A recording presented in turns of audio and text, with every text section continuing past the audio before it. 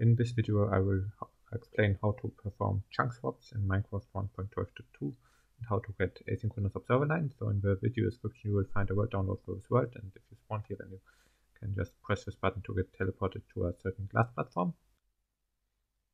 Okay, um, it teleports you to this glass platform right here and um, to perform the chunk swap um, the first thing you want to do you want to turn on the permaloader so you will need a permaloader pull off this trick. So if I flick this thing, then it will load the permaloader and I can see it if I enable the chunk debug tool in, in carpet mode, then I can also see it.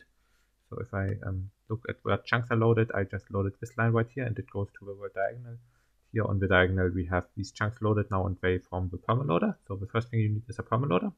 The second thing you need to do is you need to have mob switches for hostile mobs, ambient mobs, passive mobs, and uh, because um, for the trick to work you need to disable all mob spawning and I will explain later why. Okay, um, so um, currently I have 138 hostile mobs, 77 uh, passive mobs um, or, or bats. Um, like, like I have uh, disabled all the mob spawning by just having a lot of mobs in lazy chunks and like there are other YouTube videos explaining you how to make uh, mob switches. Okay, after we've turned on the permaloader, the second thing we want to do is we want to press the, the button with the grid here I press this, this will load a large cluster of chunks. So um, if I press this, and then look at the chunk debug screen, then um, you can see that it now loads this entire area of chunks. It's um, roughly 8,000 chunks big. It's a 90 by 90 area of chunks. And after you've loaded this area, you will um, want to wait for um, an autosave because um, you don't want to load all of these chunks. You only want to load specific chunks in here with a specific cache. So now you can see how it unloads. And then we see that only a few chunks remain in here. And the few chunks which remain are the cluster chunks, and these are important. They are important that these are loaded because they will create a certain kind of lag which we require for this, uh, the bug to work. Okay, and after um, you have uh, loaded in the cluster chunks and loaded in the grid, one thing you want to do is you want to relog. So I will quickly do that. Okay, I have now relogged, and after you log back in, you will also need two other players log in at a different place. Namely, over here, there's a command block uh, which says TP to unload platform, and you will have to have two players log in at the unload platform. So I now logged in with uh, another player at the unload platform. This right here is the unload platform, and we have a third player over there. And you need all three players to actually uh, perform the chunk swap with this method. And the player who is right here needs to um, walk against precisely this cobblestone wall and then uh, relog at this position because um, the player needs to be in a specific part of the player chunk map and this uh, gets set when he relogs at this position. And then other than that, this player after uh, logging back in just walks up to this uh, iron crusher plate and then waits for the other player to go to the beacon tower, which we will show right now. So um, if now the two other players at the unload platform are ready, then the player at the glass platform here can start um, creating the invisible chunk and going to the beacon tower. So the way you do this is um, before you go to the beacon tower, you have to flick this lever and after you flick this lever, you have to fly in for the next autosave occurs. Um, so I will now flick the lever and then I will fly in here. Um, and uh, if you don't fly in there before the next autosave occurs and don't flick this lever, will actually crash your game if you try to go near the contraption. So uh, you, you better flick this lever. And what this lever will do is create an update suppression which creates an invisible chunk. So um, right here we have a chunk which is invisible. So if I go down here, then we can see right here, one of the chunks um, doesn't send any um, packets to the players, and this is an unpopulated chunk. And in the video description, I will uh, link another video um, where I explain how you um, get these invisible chunk and what they do. Um, but they're uh, unpopulated. And over here, we have a large beacon tower. And the chunk with the large beacon tower will be the chunk in which we uh, perform the chunk swap. And uh, if we reload the chunk with the beacon tower on the async thread, then it will populate the invisible chunk, and then the invisible chunk will become visible. Now um, over here we have a safe setting set up for the invisible chunk because if you want to use this contraption multiple times then you um, want to keep a population flag of the invisible chunk so you can just click this lever and it will save state the invisible chunk. And after that you um, just pick up some stained glass. You need 36 stained glass to operate this contraption and go here. And um, what we will now have to do is the players at the unload platform need to flick the lever and go through the iron trapdoor. Um, and after the player went through there, player at this platform needs to place stained glass, two layers of stained glass above the beacon tower.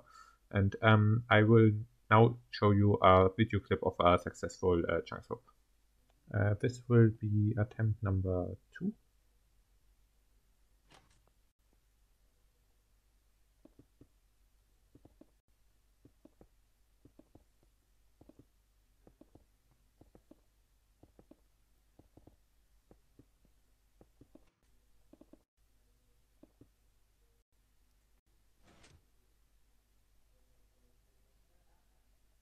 Okay, now it worked. Now it worked. Okay, now if you see the, the stained glass disappears here um, because we got a chunk swap and got state. Also, you can see that the invisible chunk has now become visible. So if I fly down here, then we can see the chunk. And this chunk in on the async thread. And also we got over here now um, this line of observers will now be um, blinking on uh, the, the async thread. Okay, um, so I just tried to record two Minecraft screens at once, and it turns out that if I do that, then my frame rate becomes complete garbage. So I also wanted to um, give another video clip where I show what you need to do where frame rate isn't complete garbage.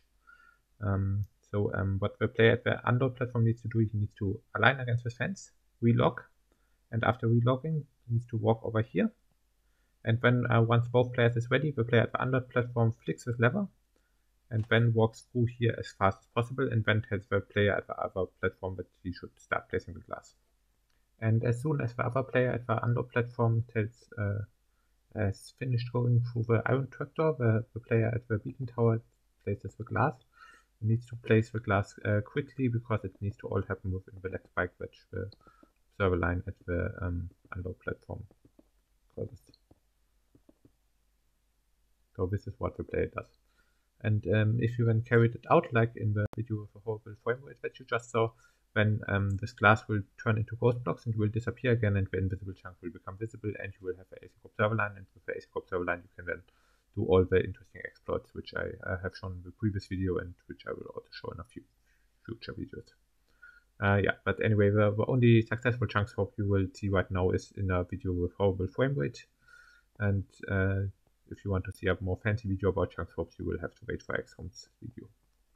So um, I will now explain a bit more what is happening when you perform a chunk swap. Okay, so a chunk swap is when we load an already loaded chunk, and um, if you only have a single thread, then that doesn't really work because the hash map which stores the chunk um, checks uh, whether the chunk is in the hash map before it allows you to load it.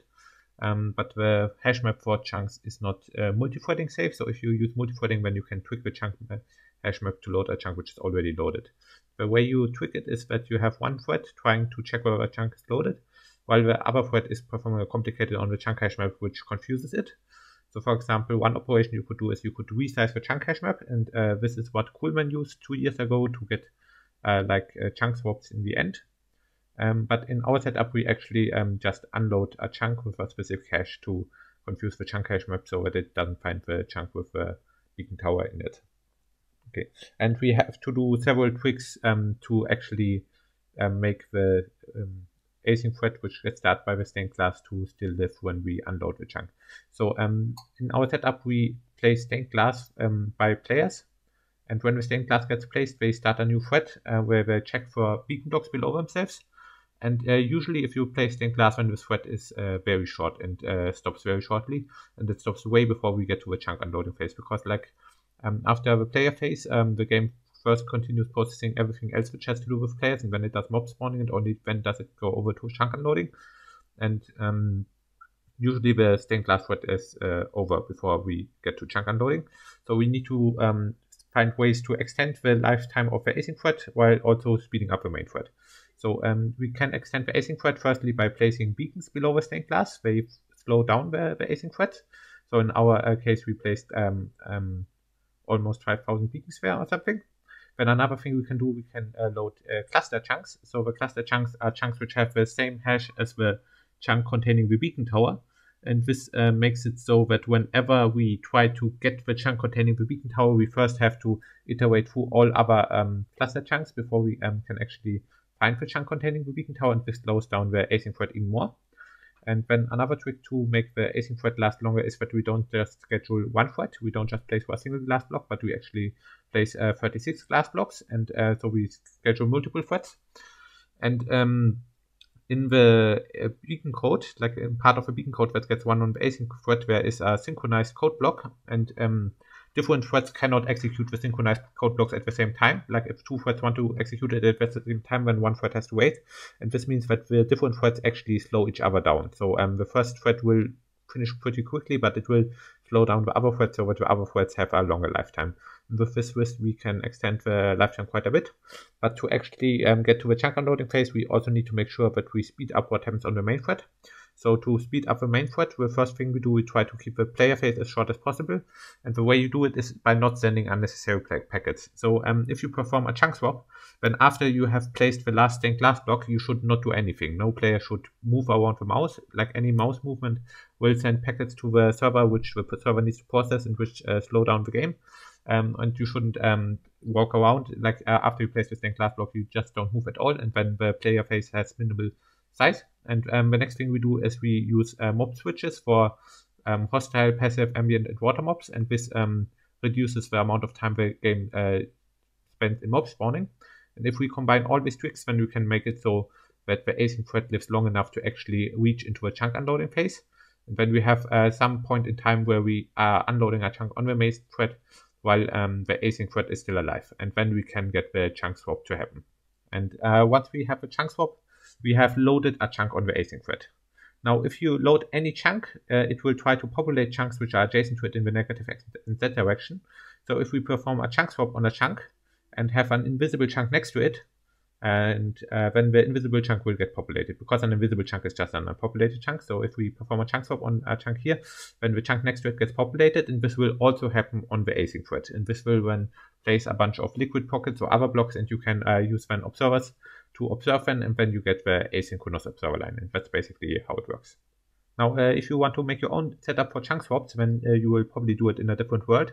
So you need to adapt the uh, setup to your world. And um, the first thing you should do, you should find out in which chunk you want to do the chunk swap.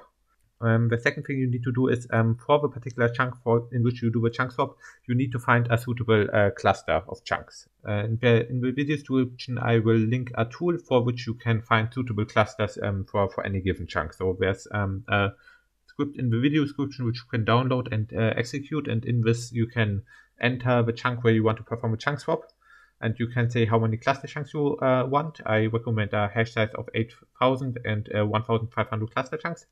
And then it will um, tell you the positions uh, where you should load the chunk loading grid. Uh, so right here is the cluster chunk finder tool. Um, the first thing I would recommend is putting the hash size to 8000. This just says how big your chunk hash map should be when you do it, and uh, I find that 8000 is good. And uh, render distance uh, depends on your server. Like uh, most technical servers have a render distance of 16. Um, then you need to enter the block coordinates of your spawn point, and then here you want to enter the chunk coordinates of your glass chunk. So this is actually an important number. So like for example, if we want to maybe uh, do a chunk swap with a glass chunk with chunk coordinates 1000 in x and 150 in z, then you can just enter this. Um, and after that, you want to um, say where roughly you want to search for the unload chunk and for the cluster chunks. Uh, the unload chunk can just be uh, nearby. That's not an issue at all. And uh, like you can just search here from the position where you have the unload chunk and then everything's nice, uh, near together and that's, that's good. Now the number of cluster chunks should be more than 100. 100 cluster chunks will not be enough to get a ch good chance of uh, chunk swaps. Um, so what you can do is you can maybe search for 1200, but should be enough and the rectangle width you can make uh, pretty big like um, like um, if you do something like 90 it's good so you can maybe take a rectangle width of 90 and that's, that's fine um, and the search limit can also be um, quite a bit, bit larger than uh, 5 um, you can then also add coordinates for permaloaders so if you have a permaloader in your world which maybe goes from 100 100 uh, to 500 500 then you can tell it and it will take that into account.